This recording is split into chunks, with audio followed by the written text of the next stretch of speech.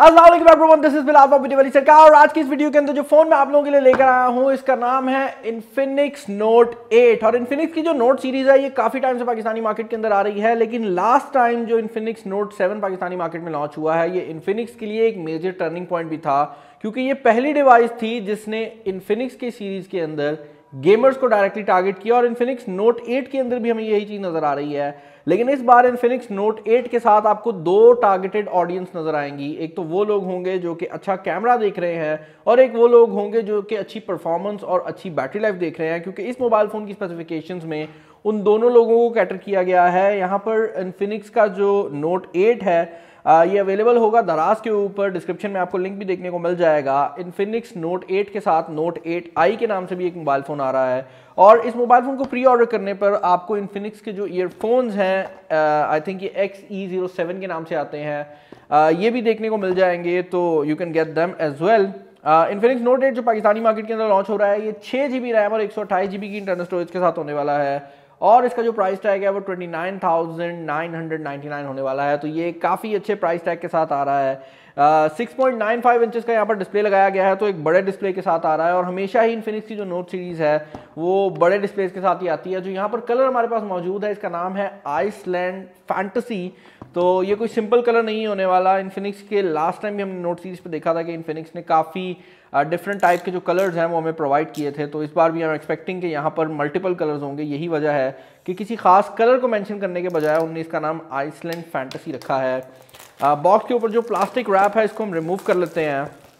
और बॉक्स का जो लेआउट है वो काफ़ी हद तक वैसा ही है जैसे हमने पिछले इन्फिनिक्स नोट सेवन पे देखा है। यहाँ पर कुछ मेन हाइलाइट्स दी गई हैं, जिनमें आपकी स्टोरेज और रैम है, जो कि एक सौ अठाईस और छः जी है। उसके बाद आपको देखने को मिल जाती है आपकी बैटरी कैपेसिटी ये मोबाइल फ़ोन 5200 mAh की बैटरी के साथ आ रहा है। एंड्रॉइड 10 यहाँ पर आपको आउट ऑफ़ द बॉक्स देखने को मिल जाएगा। फ्रंट कैमरा जो है, वो 16 मेगापिक्सल का ड्यूल कैमरा है। बाय द वे इस मोबाइल फ़ोन के अंदर छह कैमराज हैं टोटल और बैक साइड पर आपको क्वाड कैमरा सेटअप मिल रहा है, जिसमें आपका मेन कैमरा 64 मेगापिक्सल का है। और उसके अलावा आपका मैक्रो कैमरा अवेलेबल है। और उसके अलावा दो सेंसर्स हैं। एक आपका पोर्ट्रेट सेंसर है और एक आपका एआई सेंसर है। तो इस मोबाइल फ़ोन के सेंसर्स उतने ज़्यादा पावरफुल हो या ना हो, इसकी जो लुक है वो बहुत ज़्यादा प्रीमियम होने वाली है, क्योंकि यहाँ पर बैक पर एटलीस्ट चार कैमरास लगाए गए हैं। प्रोसेसर जो यहाँ पर लगाया गया है वो मीडिया टेक का हीलियो जी एटी है, जो कि एक गेमिंग चिपसेट कंसिडर किया जाता है और यही वजह है कि ये मोबाइल फ़ोन गेमर्स और कैमरा डिपार्टमेंट वाले दोनों को केटर करेगा।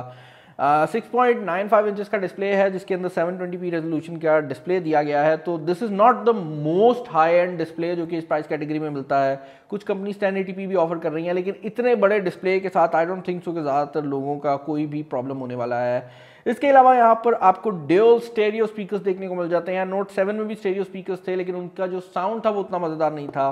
देखते हैं इस बार कैसा रहता है। और उसके अलावा यहाँ पर 18 वॉट की फास्ट चार्जिंग भी दी गई है, जिसको इन्फिनिक्स अपनी ड्यूल इंजन फास्ट चार्जिंग कहता है। बॉक्स को हम ओपन कर लेते हैं। बॉक्स को ओपन करते साथ आपको अगेन वही जो हाईलाइट्स हैं जो मैंने पहले बताई हैं, उन्हीं की डिटेल्स दोबारा प्रोवाइड की जाती हैं। यहाँ पर आपको 6.95 पॉइंट इंचेस का डिस्प्ले मिल रहा है। साइड माउंटेड फिंगरप्रिंट स्कैनर है जिससे मैं इस फ़ोन को ऑन भी कर रहा हूँ। उसके अलावा 5200 टू की बैटरी है और मीडिया टेक का हीलियो जी का जो चिपसेट है वो यहाँ पर लगाया गया है। फ़ोन जो है वो यहाँ पर टर्न ऑन हो रहा है तो हम बॉक्स के अंदर बाकी सामान पर नज़र डाल लेंगे। एक स्टिकर देखने को मिल जाता है। इसके अलावा आपको ये बुकलेट देखने को मिल रही है जिसके अंदर ओके okay, आपका स्क्रीन प्रोटेक्टर भी इसके अंदर मौजूद है तो आपको एक स्क्रीन प्रोटेक्टर देखने को मिल जाता है। जो कि ये प्लास्टिक वाला स्क्रीन प्रोटेक्टर है, जिसको आप बाद में लगा सकते हैं। प्री अप्लाइड नहीं आता। इसके अलावा कुछ इन्फिनिक्स के एक्स के रजिस्ट्रेशन कार्ड्स मौजूद हैं और फाइनली आपको एक जेली केस देखने को मिल जाता है, जिसके साइड पर आपको ओरामियो की ब्रांडिंग देखने को मिल जाती है। इन्फिनिक्स की ब्रांडिंग यहाँ पर नहीं की गई और इसके अंदर हल्का सा टेक्सचर मौजूद है। और बैक साइड पर जो कैमरा है, उसके अंदर भी लिप मौजूद है तो जब आप पीछे इसको रखेंगे, आपके कैमरा पर स्क्रैचेस के चांसेस ज़रा कम हो जाएँगे। फाइनली आपको एक चार्जिंग ब्रिक देखने को मिल जाती है, जो कि 18 वॉट की चार्जिंग ब्रिक है, और I think this is exactly the same charging brick जो कि हमने इन्फिनिक्स नोट 7 में भी देखी थी। इसके अलावा यहाँ पर आपको एक चार्जिंग केबल देखने को मिल जाती है। अब जो मेजर अपग्रेड यहाँ पर की गई है, वो ये है कि ऑल दो ये अठारह वॉट की चार्जिंग ही है, लेकिन यहाँ पर जो चार्जिंग के लिए यूज़ किया गया सारा स्टैंडर्ड है, वो डिफरेंट है। ये यूएसबी टाइप सी वाला है, जिसका मतलब ये है कि आप इसको इन्फिनिक्स के चार्जर से भी चार्ज कर सकते हैं। और अगर आपके पास कोई और यूएसबी टाइप सी वाला फास्ट चार्जर है तो उसके थ्रू भी ये इजीली चार्ज हो जाएगा। ये काफ़ी ज़्यादा क्रॉस कंपैटिबल है और इन्फिनिक्स के फ़ोन्स के अंदर जनरली इस प्राइस कैटेगरी में हमें ईयरबड्स देखने को नहीं मिलते तो यहाँ पर भी हमें ईयरबड्स देखने को नहीं मिल रहे, लेकिन प्री ऑर्डर्स के अंदर आपको जो ईयरबड्स हैं, उनका गिव अवे मिल ही जाएगा। और भाई, ये फ़ोन जो है आइसलैंड फैंटसी इसका कलर वाकई बड़ा मतलब यूनिक है। और देखने में लाइक मैं इसको कैसे एक्सप्लेन करूँ? ये ऊपर से शायद कैमरा में तो आपको बहुत ज़्यादा ब्लू नज़र आ रहा हो, लेकिन एक्चुअल में ये बहुत ज़्यादा रिफ्लेक्टिव है और ऐसा लग रहा है कि गोल्डन और ब्लू और पर्पल के दरमियान में कोई ये कलर है। इसका जो ग्रेडियंट है वो कैमरा में शो करना उतना पॉसिबल नहीं है, लेकिन ये एक्चुअल में कोई ये खास रंग नहीं शो कर रहा है, इसके मल्टीपल कलर्स हैं जिनको मूव अराउंड मैं कर रहा हूँ। कैमरा में उतना बेहतर नहीं नज़र आएगा। बैक पर आपको क्वाड कैमरा सेटअप मिल जाता है, जिसमें 64 मेगापिक्सल का क्वाड कैमरा है और इन्फिनिक्स क्लेम करता है कि ये दुनिया का पहला 64 मेगापिक्सल का क्वाड कैमरा है, जो कि इस प्राइस कैटेगरी में आपको देखने को मिल रहा है। और बाद में प्राइस कैटेगरी मैंने आपको क्लियर किया है ना कि ये अंडर थर्टी थाउज़ेंड के प्राइस टैग में आ रहा है। और इन्फिनिक्स का जो नोट एट आई है, वो इससे भी कम प्राइस टैग में होगा और उसमें दो तीन चीज़ें चेंज की गई हैं। आपका कैमरा कम है फ्रंट और बैक वाला, और उसके अलावा आई थिंक स्क्रीन साइज़ का थोड़ा सा डिफरेंस है, लेकिन इन जनरल दो फ़ोन लॉन्च हो रहे हैं। एक ये नोट एट है और एक आपको नोट एट आई मिल रहा है। मैं फ़ोन को जल्दी से सेटअप कर लेता हूँ, इसमें सॉफ्टवेयर वगैरह इंस्टॉल कर लेता हूँ और उसके बाद मिलते हैं। ओके तो फ़ोन यहाँ पर फाइनली रेडी हो गया है और मैंने इस मोबाइल फ़ोन के अंदर जो बायोमेट्रिक्स थे वो भी सेटअप कर लिए हैं। अब इस मोबाइल फ़ोन के अंदर आपको एक काफ़ी तेज फिंगरप्रिंट स्कैनर देखने को मिल जाता है जो कि आपके साइड माउंटेड पावर बटन के अंदर मौजूद है। इसके अलावा आपको फ्रंट कैमरा के अंदर फेस आईडी की सपोर्ट भी देखने को मिल जाती है, लेकिन आई डोंट थिंक सो कि उसका कोई भी ज़्यादा यूज़ करे। वो भी वैसे काफ़ी ज़्यादा तेज़ है लेकिन जैसे ही आप पावर बटन का प्रेस करते हैं तो उससे पहले ही कि आपकी फेस आईडी काम करना स्टार्ट करे, आपका जो फिंगरप्रिंट स्कैनर है वो आपके फिंगर को रीड कर लेता है। नीचे वाली साइड पर आपको टाइप सी की पोर्ट और आपका हेडफोन जैक जो है वो देखने को मिल जाता है। बैक साइड पर आपका क्वाड कैमरा सेटअप मौजूद है। ऊपर वाली साइड को खाली रखा गया है। जबकि अगर आप बात करते हैं इसकी लेफ़्ट वाली साइड की तो वहाँ पर आपको आपकी जो सिम स्लॉट है वो देखने को मिल जाती है। और जहाँ तक बात है इस मोबाइल फ़ोन के अंदर मौजूद सिम सिचुएशन की तो आई डोंट थिंक सो कि इन्फिनिक्स की तरफ़ से हमें यहाँ पर कोई सरप्राइजेस मिले। लेकिन मैं फिर भी देखना चाहता हूँ कि यहाँ पर क्या सिचुएशन है। आई एम एक्सपेक्टिंग यहाँ पर दो सिम्स और एक मेमरी कार्ड की ऑप्शन अवेलेबल होगी। मेमरी कार्ड की अगर डेडिकेटेड स्लॉट नहीं भी होती तो मसला नहीं है, क्योंकि एक की इंटरनल स्टोरेज के साथ आ रहा है, लेकिन यहाँ पर फिर भी आप इसको मेमोरी कार्ड के थ्रू एक्सपैंड कर सकते हैं। इसके अलावा यहाँ पर फ्रंट कैमरा जो है वो 16 मेगापिक्सल का है तो हमने यहाँ पर कुछ सैंपल शॉट्स लिए हैं। और मैं ये बताना चाहूँगा कि इस मोबाइल फ़ोन का कैमरा अंडर थर्टी थाउज़ेंड एक काफ़ी डिसेंट क्वालिटी का रिज़ल्ट प्रोवाइड करता है। ये इसके फ्रंट कैमरा का रिज़ल्ट है।